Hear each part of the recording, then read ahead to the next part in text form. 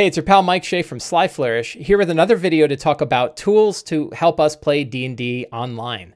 Like many others, I've had to transition my game from playing in person to playing online. So I'm always on the lookout for tools that can help me more easily play D&D uh, online. And today I'm going to talk about a tool that I've recently fallen in love with called Owlbear Rodeo.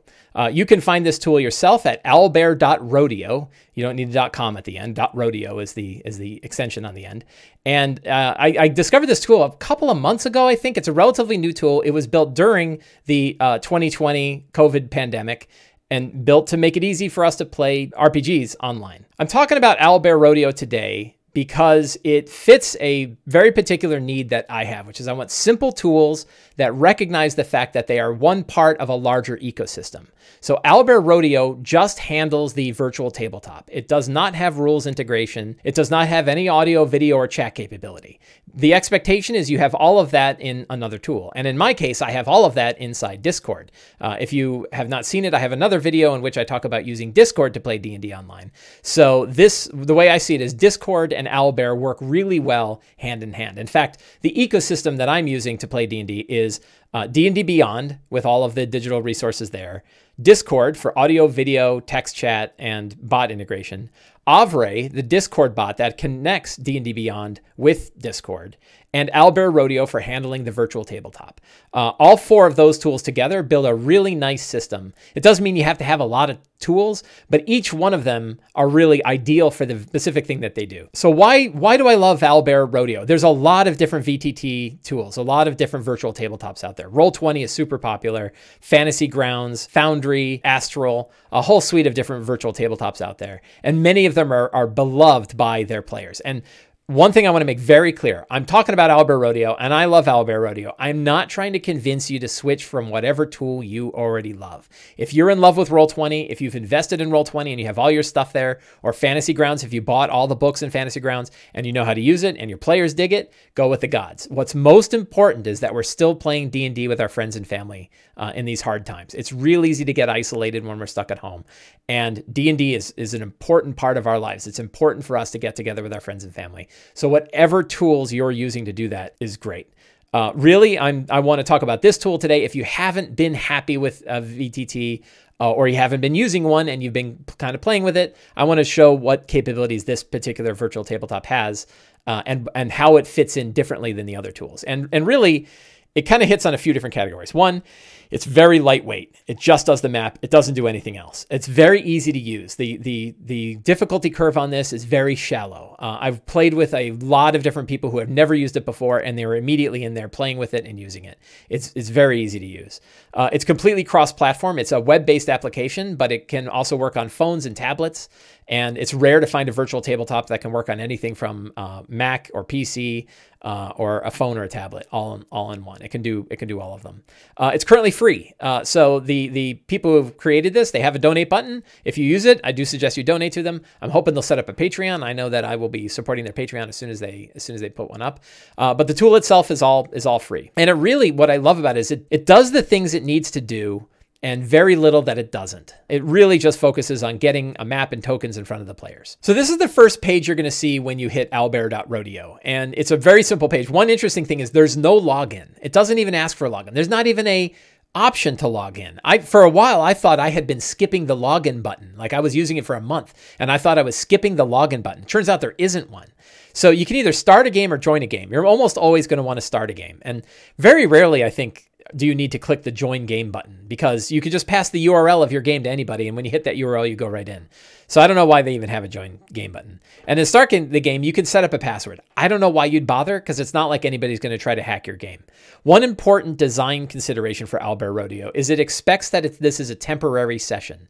It is not, you would not build your entire campaign in here. You probably wouldn't want to set up 15 maps and all of the tokens and get it all laid out. And I'll talk about some of the reasons why you don't want to do that. But the main thing is I wouldn't worry about a password because it's a temporary game anyway. It's not like the world is going to come in and start screwing around with your map.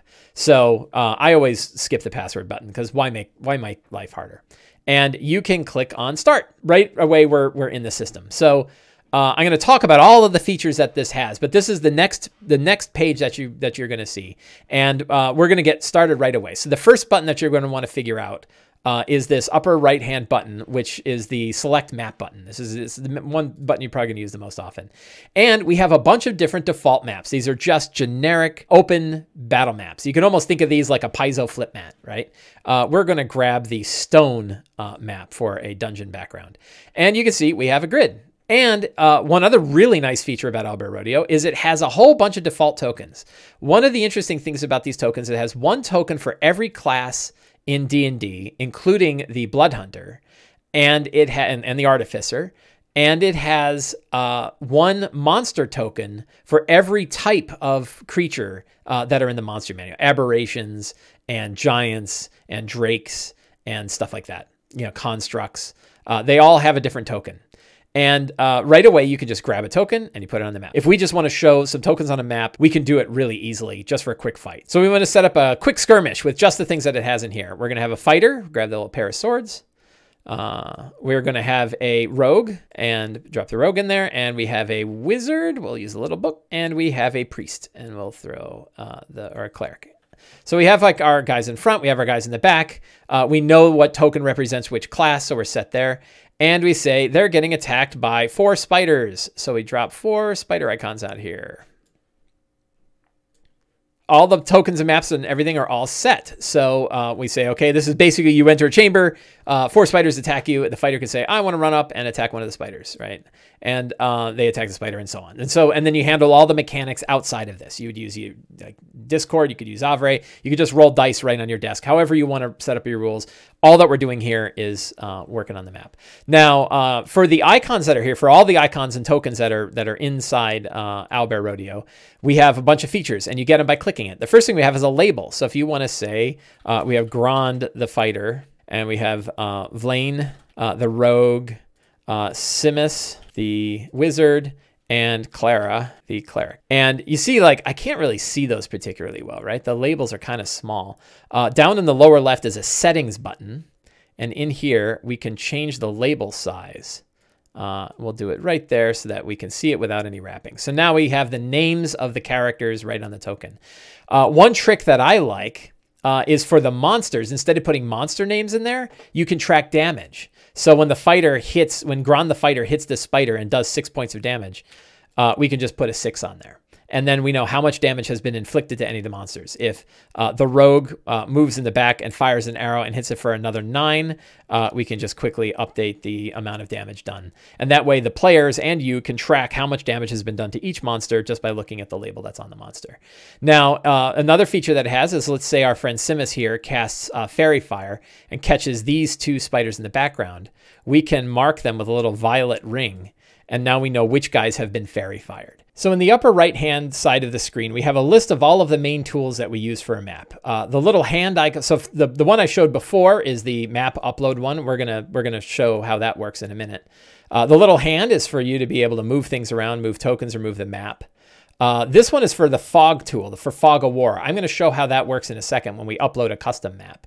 Uh, there's also a draw tool. So an example is like, let's say we go back to our map here and I want to draw a, um, a little rift that uh, cracks this room in half.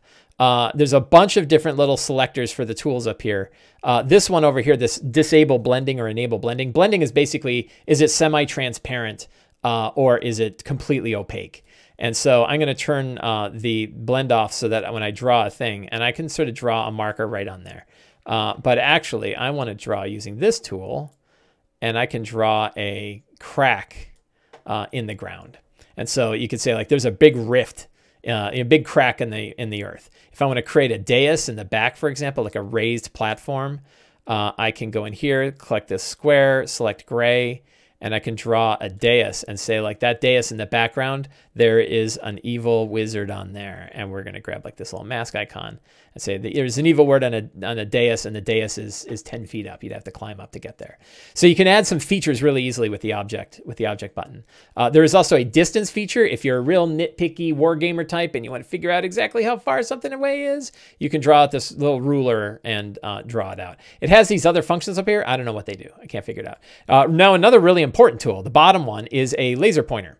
Uh, so if you want to show everybody else like which one, like let's all shoot this one.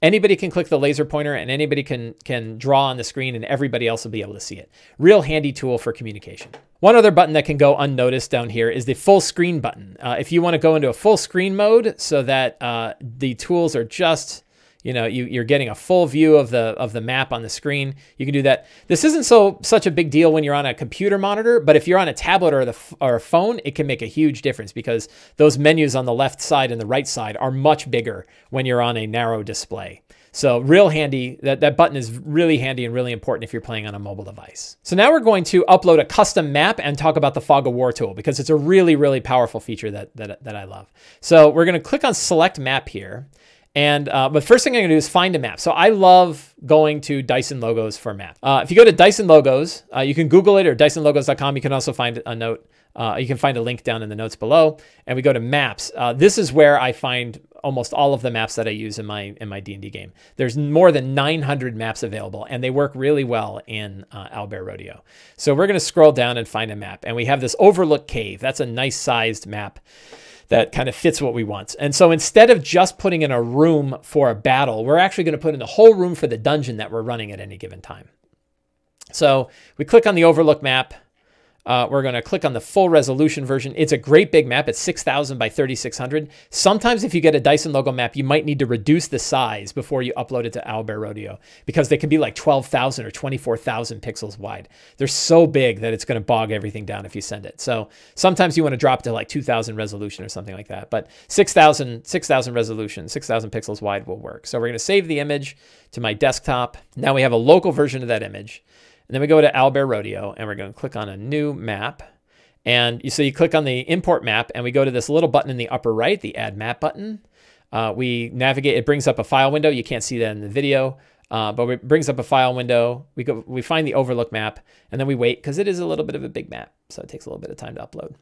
Uh, while we're doing this, an important consideration is all of your assets that you upload are actually stored locally. They are not stored on a server remotely. Uh, the way Owlbear Rodeo works is all of your tokens and all of your custom maps and all your layout and everything like that is stored in your browser's database on that on the machine that you're using. And then when you connect it with other people, you're broadcasting from your machine to their machine. It's not going up to a major cloud provider. Uh, Owlbear Rodeo doesn't run some huge infrastructure. They're just running the application, and then you're you're basically loading the application in your browser and it's passing it along. That's an important consideration because it means when you uh, get a map and tokens on one machine and go to a different machine, it's not on that other machine. So you want to keep your tokens and your, your maps, uh, you want to you want to have them handy for whatever machine you're going to be using. Put them in a shared drive or something like that, and then load them in your other machine.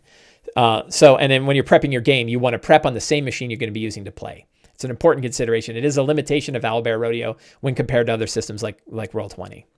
So uh, we've loaded our map. We've got the overlook uh, map here. And uh, you can actually edit the map and take a look at a few things. So there's a little bit of fancy artificial intelligence in here that can detect uh, grid size automatically. Many times it works perfectly well. For Dyson, it works really, really well. Uh, for other maps, not quite as much. So uh, if it doesn't work, you're going to have to figure out how many squares uh, you know, how many how many squares across and how many squares down your map is. But there's a handy tool in here that helps you align the map. So you can zoom way in and there's this this big gray circle in here, right? And what uh, every square that's in this map is actually a 10 foot square, not a five foot square. So when I grab this circle, you can see that I'm moving the grid around to line up, and I can line the grid up manually, and and then it's lined up, and it's lined up for the whole rest of the map by by clicking that by clicking that button and you can sort of see uh, that it, it extends the full distance of the map. Now you can either draw a grid or not draw a grid, depending on what you want. Uh, sometimes it's handy if the if the map has a grid on it already that already fits a five foot per square grid, then you can turn the draw grid off, and that way you don't have two grid lines sitting on your map. Uh, for this one, because the grid is 10 foot, I'm actually going to draw the grid so it'll put five foot squares inside of my 10 foot square map. And uh, you can also uh, allow some permissions, like can other people put drawings? Can other people use tokens? If you have a bunch of immature players and you want to turn off their ability to draw because they're drawing dick pics all over it, then um, you can turn off drawings and leave it to you. Uh, and same thing with tokens. If you if people aren't controlling the tokens and you're controlling it all, you can turn tokens on and off. Generally speaking, you'll just say um, they can't control the fog, but they can control drawings and tokens. So we hit save, and now we've got our map, and we will load it. And you, right away, we can see that we have a Dyson Logos map uh, in here. And, and you can see where the five foot, and you can see that my grid line is a little off, but generally um, you can see that it put a five foot per square grid inside of the 10 foot square grid that the map itself has, and it lined up pretty well. So that's great, but what happens, and so what we can do, uh, we can go in here and we'll drop some tokens in, and we'll put in our fighter. You come down this, you come up the stairs into a strange ruin, right? We got our fighter, we've got our rogue, We've got our cleric and we have our priest or our wizard. We're all set and that's great, except the players can see the whole map. So that's no good. We want to use Fog of War. And this is what this feature that I'm about to show is what made me switch from using copy, basically copying and pasting maps into Discord to show people what they were seeing. And now I'm probably going to be using Owlbear Rodeo nearly all the time because you don't have to just use it for combat. You can use it for exploring a location and the fog of war really helps with that. So in order to use a fog of war, you need to draw a uh, you need to draw the fog of war around the whole thing. So first thing we do is click on the fog of war tool over here. It has a hotkey for F if you want to be fancy. Uh, we make sure that the pen is highlighted. That is the polygon tool.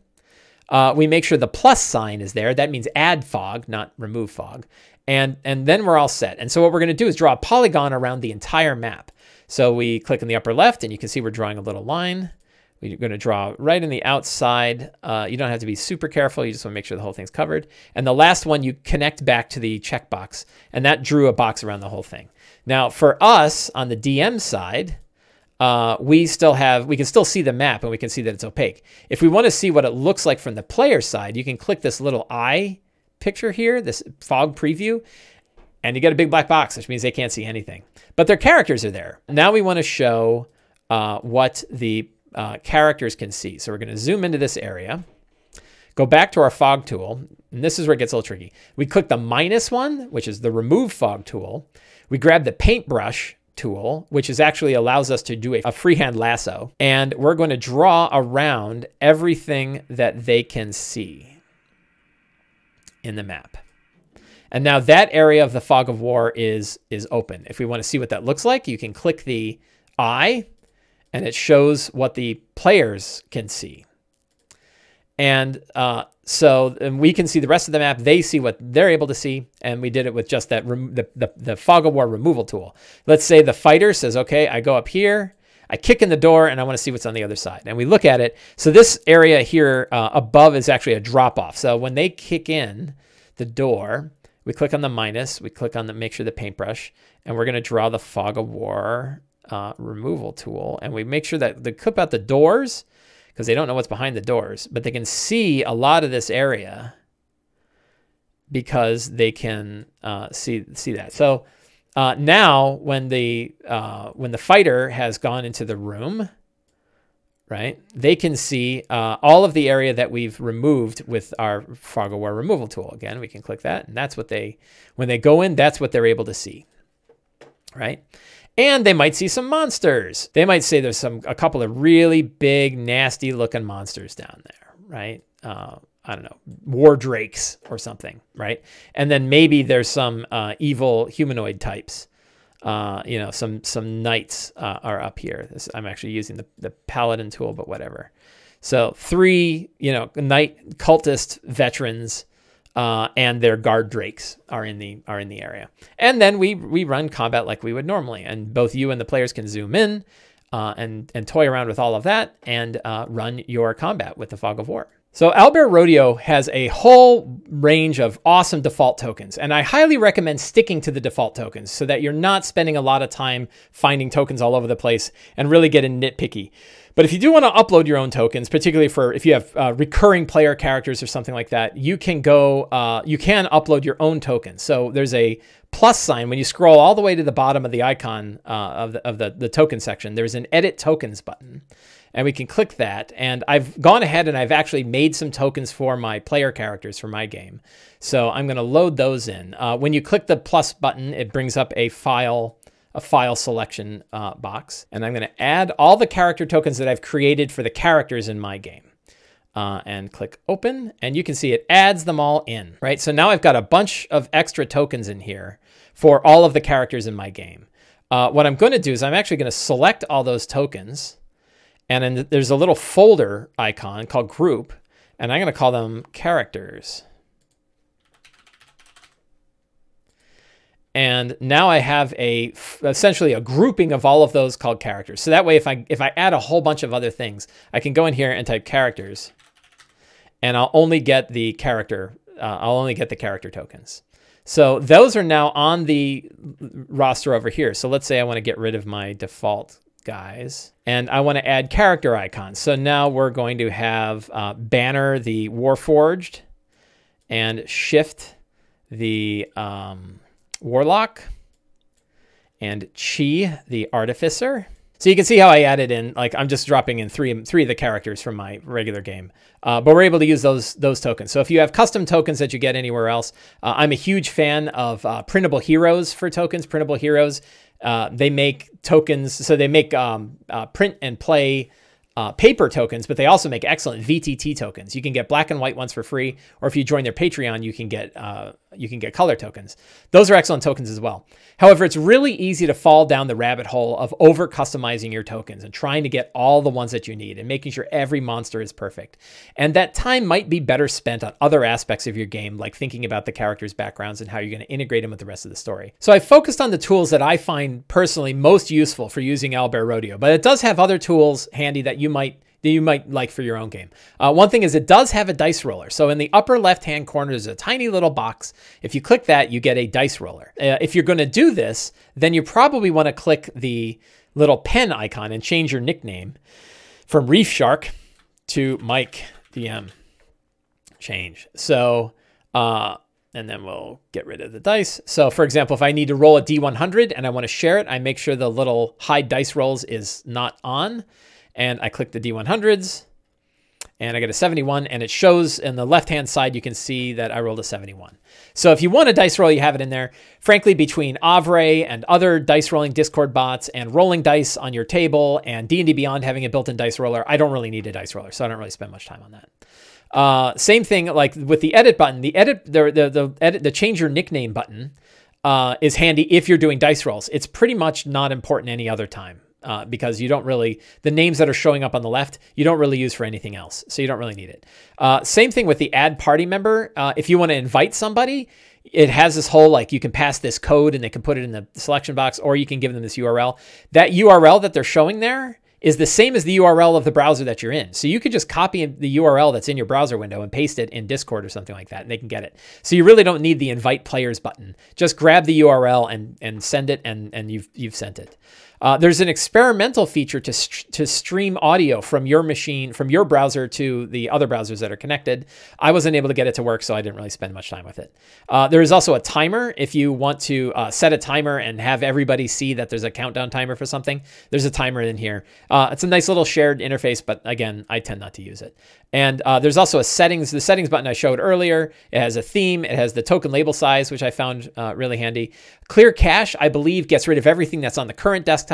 And erase all content will get rid of all of your saved maps and all of your extra tokens. So if you want to clear the slate and start over again, uh, you can you can click that erase all content button. So I hope you found this video useful. Uh, if you can't tell, I'm a huge fan of Owlbear Rodeo. It hits all the right checks in the right boxes for me. It's really lightweight. Uh, it's very easy to use. It only focuses on the map. There's no other added frills that are getting in the way of me just putting up a map and getting tokens on there. The default maps and tokens are really useful for improvised play. That's something that is crucial for my game. I want to be able to improvise encounters as I go and it's just it's just really easy to use. And, and, what i really like about it is that it understands its place in the ecosystem. It know you, you you know that you have d&d beyond already. We have discord. We have audio and video chat capabilities. Uh, the developers of owlbear are not trying to replicate something that somebody has already done. It is just a really simple straightforward focused battle map. And uh, for that i think it's a fantastic resource. So i hope you found this video useful Uh, and please, uh, in the in the comments below, let me know how you've used it, or if you like it, or if you have alternatives. Again, I'm not trying to push one system over others. If, if you're happy with uh, Roll20, if you're happy with Fantasy Grounds or Foundry or Astral or whatever VTT you like, the most important thing is that we're still getting together with our friends and family to play D&D and share in fantastic adventures. Thank you very much.